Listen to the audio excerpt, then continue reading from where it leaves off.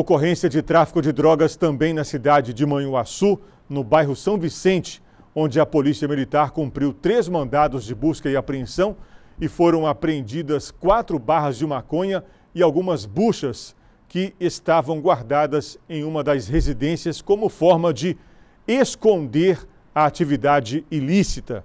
Os policiais conseguiram encontrar na casa de um casal preso a droga que estava escondida dentro de uma geladeira. Entre a quantidade apreendida, as, as porções de maconha, os entorpecentes estavam escondidas dentro de uma geladeira.